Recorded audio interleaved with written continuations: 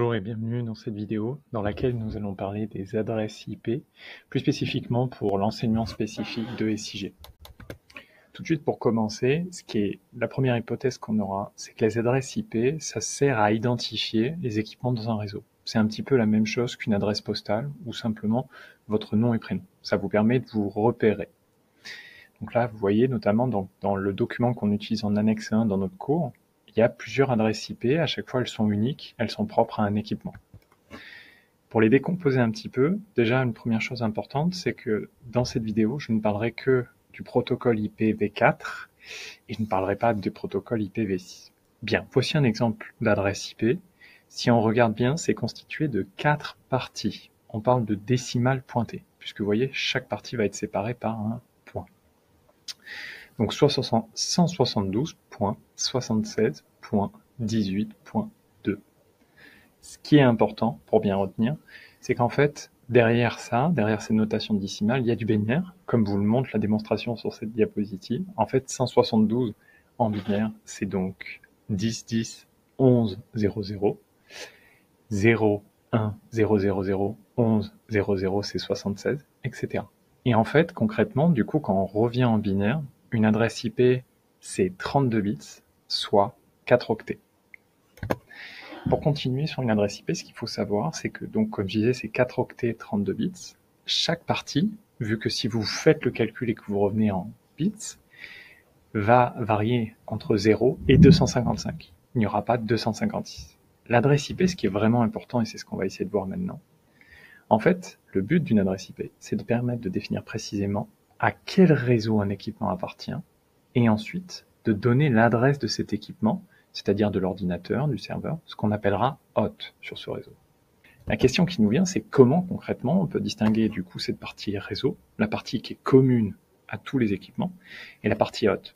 Et bien en fait, déjà ce qu'il faut comprendre, c'est qu'on va avoir besoin d'une information supplémentaire, ça s'appelle le masque, ou parfois on peut parler de masque de sous-réseau. C'est une suite de 32 bits qui vont permettre de distinguer l'adresse réseau et l'adresse de l'hôte.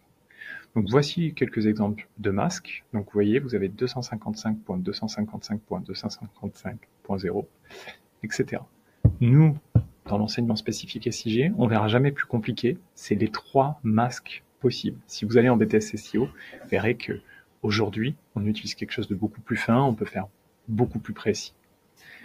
Bon, quelle est la logique? Déjà, ce qu'on va faire, c'est quand on prend un schéma réseau, il faudra bien repérer deux informations.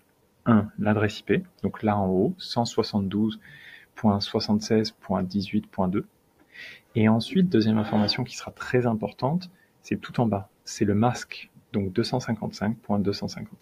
Une fois qu'on a ça, voici la méthode. Ce qu'on va pouvoir faire, c'est le petit tableau suivant, ce que je vous conseille de faire au brouillon, parce qu'à force, vous aurez la méthode et vous irez vite. On va donc écrire en décimale l'adresse IP et en dessous le masque de sous-réseau. La logique est la suivante, soyez bien attentifs. Quand le masque est de 255, je recopie le décimal de l'adresse IP en haut. Donc vous voyez, 172, je regarde juste en dessous à la même partie du masque, donc la première partie tout à gauche, c'est 255, je recopie. Je passe à la deuxième partie de l'adresse IP, 76, je regarde le masque, c'est 255, je recopie.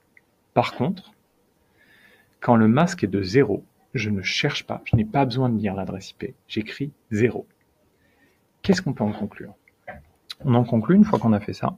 Vous voyez la petite partie qui est en marron-orange C'est la partie réseau. C'est-à-dire que tous les ordinateurs, les équipements qui vont rejoindre ce réseau, eux auront 172.76. Ce sont les deux octets qui identifient le réseau. Et donc du coup, 172.76.0.0, c'est l'adresse du réseau dans sa globalité. Donc ici, Carrefour Cityage. Pour bien comprendre, donc ce qu'on retient bien, c'est qu'il y a une partie réseau. Ce que je vous disais, ici, vu le masque, c'est les deux premiers octets. Tandis que ce qui est en vert, c'est la partie machine, ou ce que j'ai appelé au début de vidéo, partie haute. C'est-à-dire que n'importe quelle machine va pouvoir, c'est ici qu'on va déterminer librement les chiffres. On va pouvoir mettre par exemple 19, 20, si c'est pas attribué. 23.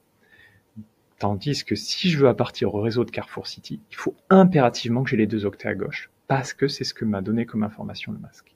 Petit comparatif rapide. En fait, c'est la même chose qu'une adresse postale. Moi, si j'habite à l'adresse postale qui affiche ici, là, sur la vidéo, mon adresse, mon nom à moi, Monsieur Gonnet Alexis, c'est la partie haute. Ça appartient à moi.